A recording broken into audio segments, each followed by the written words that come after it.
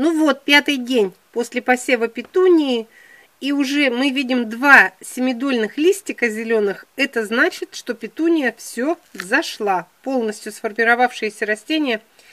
Причем взошли все посевы. Сейчас я вам по очереди покажу.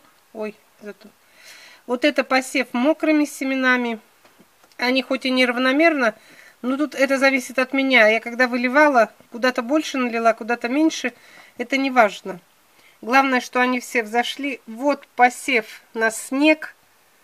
Тут видите, что более равномерный посев, потому что их было видно на белом фоне. Я говорила, что кто хочет достичь равномерности посева, те сеют на снег. Видите, как они друг от друга, у них расстояние, им будет проще расти. Такие растения можно даже зубочисткой немножко потом подгрести. И вот это простой посев сухими семенами на землю, они тоже взошли. Если мы приблизимся, то даже видно, что два семидольных, сейчас установится резкость, два семидольных листочка зеленых у них есть. Видите? Какие-то еще червячки белые лежат без двух семидолек. У каких-то уже вот есть две семидольки. И вот пятый день можно сказать, что петуния взошла. И сейчас самый сложный период. Вот наисложнейший, потому что, смотрите, полностью закрытыми держать их уже нельзя они заплесневеют и задохнутся там, полностью парниковый эффект. Те условия, которые были нам нужны для всхода, мы их должны сразу же поменять. Но и полностью открытые они еще не могут. Видите, они очень нежные, и некоторые семена еще лежат, только один беленький такой росточек, а некоторые уже встали. И так как они разные, те, которые лежат, если мы полностью откроем, они быстро могут подсохнуть. Воздух сухой у нас в квартирах, они могут засохнуть. Что мы делать должны в этот период? Конечно, мы должны увеличивать время проветривания. То есть я вот сейчас открыла эту крышку. Если я раньше открывала там буквально на 5 минут, вот так вот поделаю несколько минут и закрываю, то сейчас я открыла и подержала ее до такой степени, что весь конденсат вот здесь высох. Конденсат весь высох, ясно, что здесь уже воздух совсем другой, был влажный, стал сухой, стеночки высохли. Видите, стеночки были влажные, видите, на стеночках даже уже как бы начинает образовываться плесень. Поэтому полностью закрытые лоточки держать нельзя. Я вот сейчас открыла, подержу полчаса, может быть даже час и опять закрою. Что мы делаем в этот период? Мы увеличиваем время проветривания. И с каждым днем это время должно быть больше и больше. Сегодня я открыла на час, завтра открою на два часа.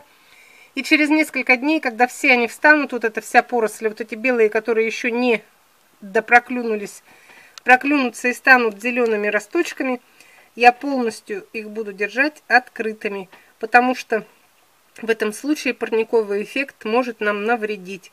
Все та же черная ножка, все тоже и тут мы должны быть очень осторожны при опрыскивании. Если семена мы опрыскивали, они лежали, мы не боялись за них, то теперь, видите, уже встали вот эти всходы, вот у них маленькие тонкие ножки.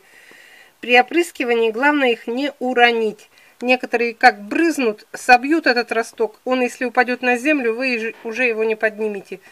Начинаешь его поднимать палочкой или чем-то, он обычно заламывается, переламывается, гнется, мнется, все.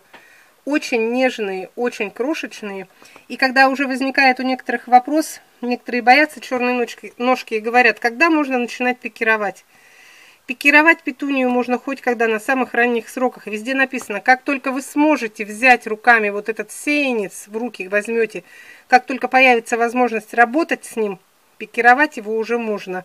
Но вот это, конечно, очень крошечные, но дня через два уже можно. Я делаю так, смотрите, они же неравномерные, которые взошли раньше, вот эти вот, они сейчас растолстеют буквально через два дня.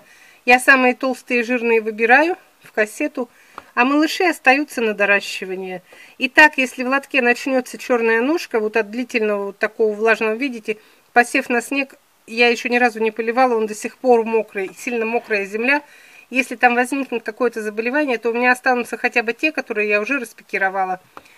И тут самое главное, даже вот зашли на пеленках, ну проклюнулись.